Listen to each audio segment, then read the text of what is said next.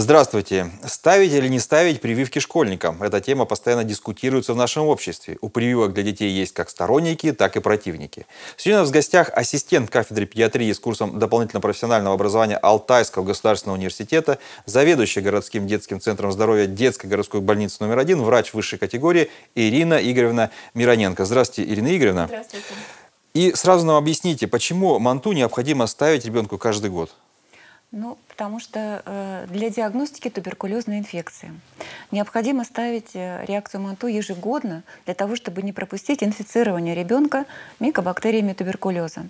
Заболеваемость туберкулезом очень высока. В целом в России, а в Алтайском крае выше, чем в России. Поэтому, конечно, вот э, слава богу, что у нас есть возможность проведения ежегодной диагностики для того, чтобы выявить больных, этим серьезным заболеванием и своевременно назначить терапию. И надо сказать, что на сегодняшний день подходы к туберкулинодиагностике, они определены государством, и есть приказы, по которым мы работаем, и детям до 7-летнего возраста мы проводим реакцию МАНТУ, а с 7-летнего возраста всем школьникам мы проводим туберкулинодиагностику путем проведения диаскин-теста. Это уже рекомбинантный э, туберкулин, который не дает никаких там побочных аллергических реакций. Если объяснить э, на русском языке, mm-hmm. это что значит? Э, всем да, ставят прививки? Э, это не прививка, это э, проба для а, проба. определения... Это царапают так, да? Да, это проба для определения инфицирования. Mm-hmm. Произошло инфицирование или нет. Поэтому бояться вот, туберкулинодиагностики не стоит, поскольку это вообще даже не вакцинация. Не секрет, что э, многие родители э, считают, что прививки э, вредят здоровью, иммунитету детей. И есть такое понятие отказники да, от прививок. Вот скажите, чем это грозит, если ребенку не ставить манту, прививки и так далее? Ну, во-первых, это грозит возможностью заболеть или перенести тяжело какое-то острое инфекционное заболевание, а на современном этапе мы можем профилактировать это заболевание путем проведения вакцины профилактики. И я считаю, что это ну, достаточно безрассудно со стороны родителей поступать таким образом, потому что они подвергают своего ребенка возможности заболеть каким-то серьезным инфекционным заболеванием, которое может дать осложнение, а иногда даже и смертельный исход. Поэтому, конечно, вот те вакцины, которые есть на сегодняшний день, которые зарегистрированы у нас в России, используются по национальному календарю прививок, они все очень проверены, они хорошего качества.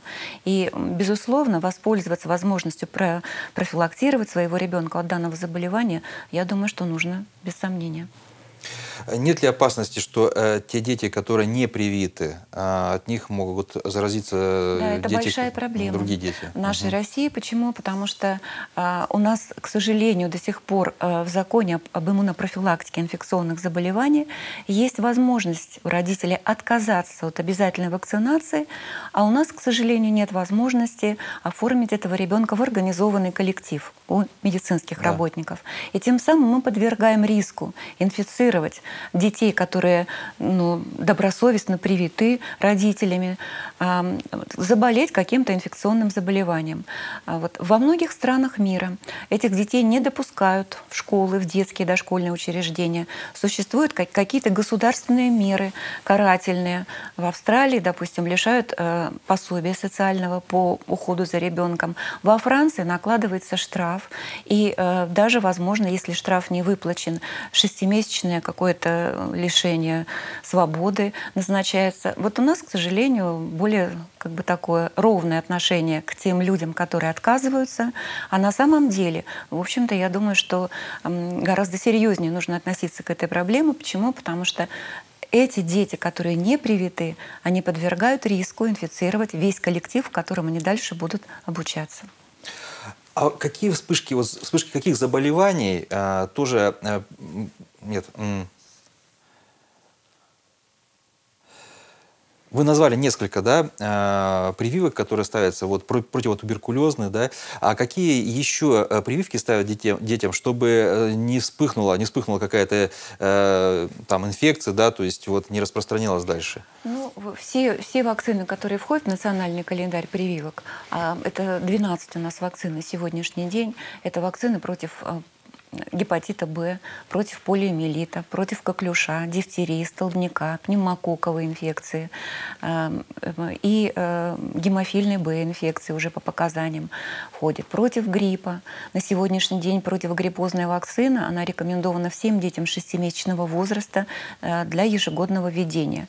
И, конечно, если э, родители отказываются от этих обязательных прививок, то возможность инфицироваться этим заболеванием существует. Почему? Потому что существует занос инфекционных заболеваний, даже в те страны, где, в общем-то, кажется благополучная эпидемиологическая обстановка. С чем мы сталкиваемся иногда?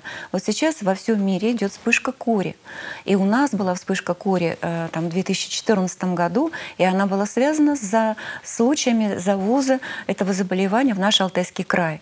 И у нас прежде всего болели не вакцинированные пациенты, либо это взрослые, либо дети.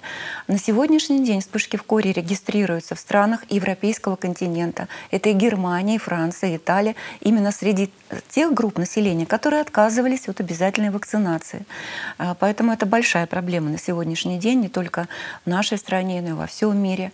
У нас была а, в 2010 году вспышка полиомиелитной инфекции, несмотря на то, что наш регион с 2000 года признан территорией, свободной от полиомиелитной инфекции. Только потому, что были случаи завоза полиомиелита из Таджикистана, где была большая достаточно вспышка этого заболевания. На сегодняшний день регистрируются некоторые случаи заболеваемости полиомиелита в Украине, потому что там э, тоже были нарушены какие-то вот схемы вакцинации, отсутствие вакцинального препарата отмечалось и так далее. Поэтому завести какое-то инфекционное заболевание в страну, где на сегодняшний день, э, в общем-то, определено эпидемиологическое благополучие, это всегда возможно. Но более того, наше население сейчас стало активно путешествовать, выезжать в другие страны, да, да? да. и поэтому возможность инфицироваться где-то там, вот на отдыхе, тоже такая существует. Это действительно большая проблема на, на самом деле. А прививки, о которых вы перечислили, вот эти календарные, да, которые mm-hmm. находятся в календаре, их ставят э, раз э, в жизни? Ну, скажем так, помните, вот у нас ну, в детстве нам да, ставили, нет, у нас у всех у, есть отметина на, на плечах. У вакцинального препарата есть своя схема вакцинации. Угу.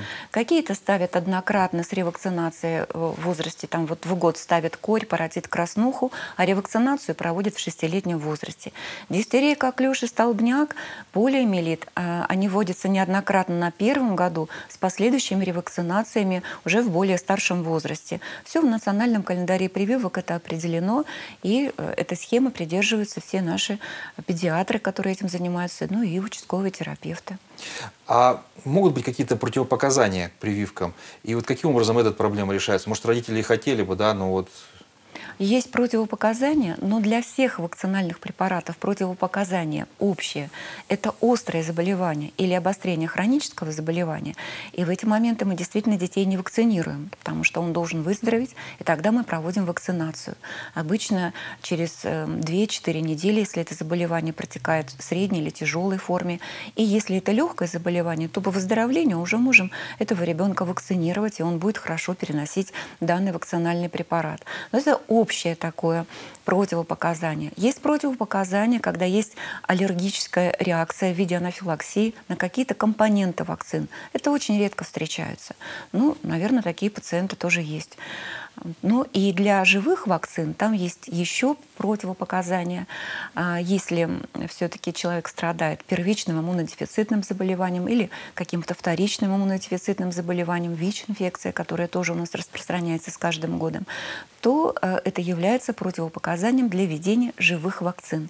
А инактивированные вакцины, анатоксины можно вводить совершенно без особой боязни этим пациентам.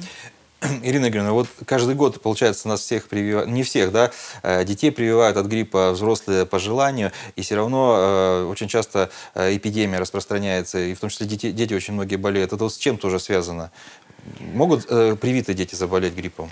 Могут, но они перенесут это легко. легко ну, они угу. перенесут это легко, и все-таки надо сказать, что та вакцинальная кампания, которая против гриппа, которая проводится в стране, она привела к тому, что заболеваемость снизилась. Та вспышка, которая, э, заболеваемости гриппом, которая отмечалась у нас в 2009-2010 годах, э, на сегодняшний день, вот прошлый год показал то, что у нас заболеваемость была гораздо ниже. Почему? Потому что мы все-таки стали активно вакцинировать и взрослые, и детское население. А, но если нет охвата прививками э, более чем 95% всех слоев населения, то, конечно, это общество подвержено заболеваемостью. И если в детском коллективе, в классе или в школе в целом хороший охват вакцинации против гриппа, то эта школа в меньшей степени будет подвержена заболеваемостью гриппом. И если там большое количество пациентов отказались от вакцинации, то да, там возможна вспышка. То есть такая Поэтому... статистика есть, действительно да, тоже конечно, проверено, все, вы отслеживаете, есть. на самом деле так есть. Потому что со стороны, конечно, часто другая картина э, как бы воспринимают. Я думаю, что эпидемиологи могут сказать прямо в цифрах конкретно угу. и определить, в общем-то, эффективность. Замечательно, Ирина Игоревна, большое спасибо вам за беседу, здоровья вам. Спасибо До большое. новых встреч. И спасибо. вам тоже спасибо. здоровья. Я напоминаю, что у нас в гостях была ассистент кафедры педиатрии с курсом дополнительного профессионального образования Алтайского государственного университета, заведующая городским детским центром здоровья детской городской больницы номер один, врач высшей категории Ирина Игоревна Мироненко. Спасибо за внимание, до встречи.